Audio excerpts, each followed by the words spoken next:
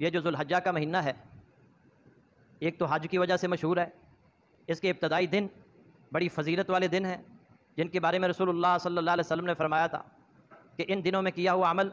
اللہ کو اور دنوں میں کیے ہوئے عمل سے زیادہ محبوب اور پیارا ہے۔ اور یہ جو مہینہ ہے ذوالحجہ کا، اس میں سیدنا عثمان غنی رضی اللہ تعالیٰ عنہ کی شہادت بھی ہوئی ہے۔ یہ ان کی شہادت کا مہینہ ہے۔ سیدنا ابو بکر صدیق رضی اللہ تعالیٰ عنہ اور سیدنا عمر فاروق رضی اللہ تعالیٰ عنہ کے بعد جس شخصیت کو سب سے نمایاں اور ممتاز اور عرفہ مقام حاصل ہے، وہ ہیں مجسمہ شرم و حیا، داماد رسول، پیکر حلم و سخا، سیدنا عثمان غنی رضی اللہ تعالی عنہ۔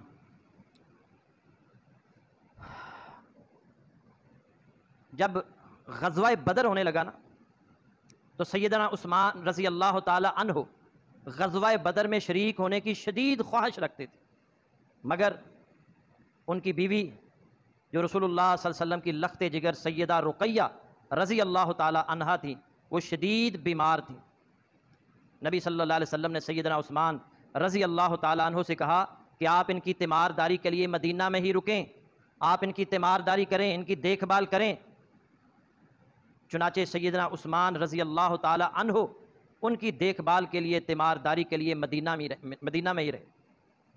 اور نبی صلی اللہ علیہ وسلم نے ان کو فرمایا کہ آپ رقیہ رضی اللہ تعالیٰ عنہ کی تیمار داری کریں۔ آپ بدر میں لڑائی کرنے والوں کے اجر و ثواب میں برابر کے شریک ہوں۔ کتنا بڑا اعزاز ہے۔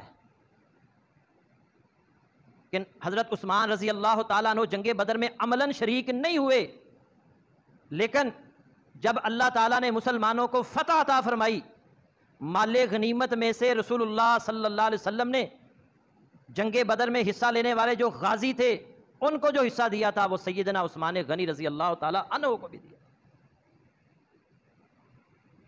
اور جنگ بدر والوں کے بارے میں نبی صلی اللہ علیہ وسلم نے فرمایا تھا، ان اللہ اطلاع علی اہل بدر فقال، اے ملو معاشے تم فقط وجبت لکم الجنہ۔